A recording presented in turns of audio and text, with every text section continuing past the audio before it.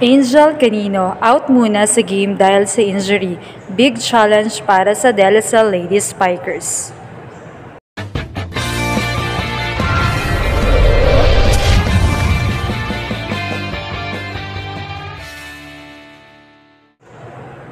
Trending ngayon ang ilang mga posts tungkol sa reigning rookie MVP na si Angel Canino dahil sa baka raw hindi makalaro si Angel sa mga susunod na game dahil sa kadahilan ng may injury daw ito na iniinda.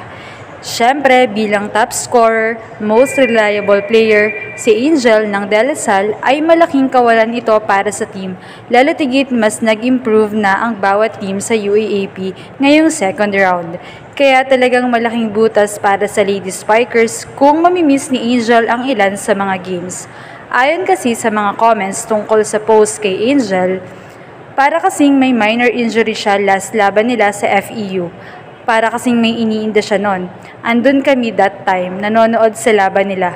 Pero mukha namang okay siya ka- kasi nagpa-picture pa kami sa kanya. Mukha naman siyang okay.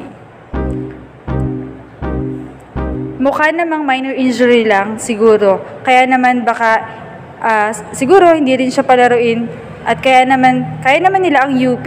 Tamang-tama at makakapagpahinga siya. Kasi nung nagpa-pick kami sa kanya, mukha naman siyang okay. Parang wala namang iniinda. Dahil sa hindi matahimik ang fans sa isang post ng pass break ay nakapanayam naman ang assistant coach ng Akari Chargers na ama ni Angel na si Rodel Canino. Ayon dito, she is doing fine, that's all I can say. Ibig sabihin ay maayos naman ang kondisyon ni Angel, nga lamang ay may kinakaharap na personal na problema si Angel na hindi naman dinisclose o sinabi ni Coach Rodel. Dagdag pa niya ay mag issue naman ng mga statement ang De La Salle team sa mga paparating na araw tungkol sa tunay na status ng paglalaro ni Angel. Kaya naman para sa ibang fans ay nag-aalala sila kung makakalaro ba si Angel dahil maaring bumaba sila sa ranking kung hindi magdi-deliver ng equal level ang maaaring pumalit kay Angel kung hindi nga siya makakalaro.